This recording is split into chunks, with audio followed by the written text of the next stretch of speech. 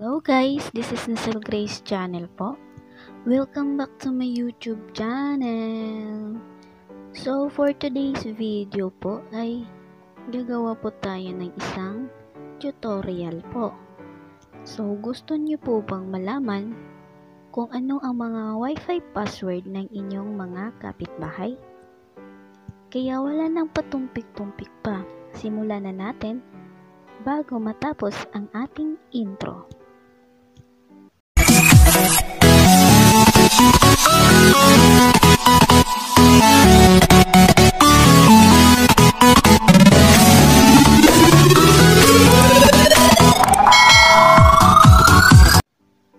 So, first po guys ay pupunta tayo sa ating settings.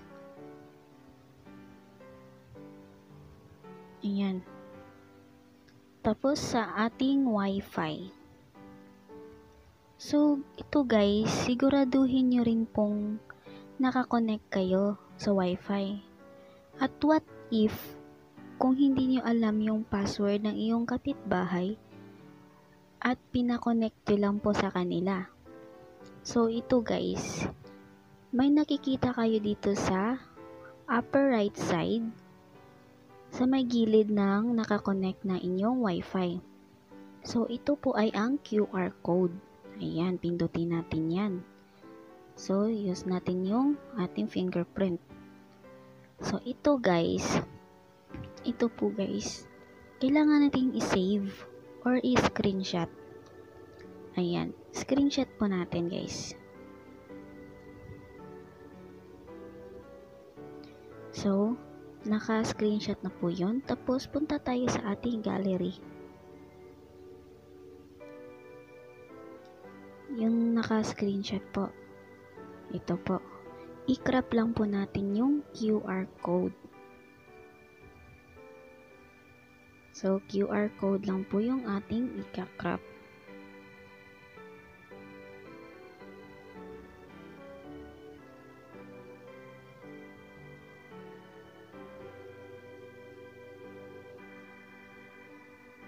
Ayan. Okay na po yan guys. Save natin. Tapos, balik tayo doon sa ay pupunta tayo dito sa ating Google Chrome. Ayan.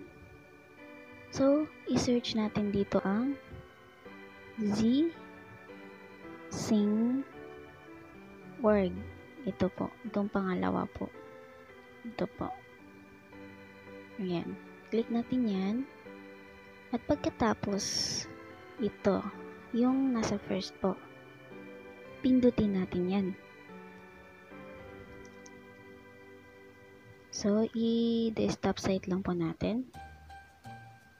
Ayan. May nakikita kayo dito na choose files. Pindutin natin yan. I-choose natin yung file na ating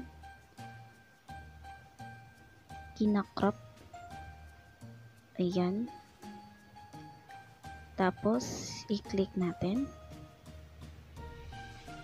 Click lang po natin. Ayan. May tao guys. Wait lang. ulitin natin ulitin. Ito tayo sa Al Gallery.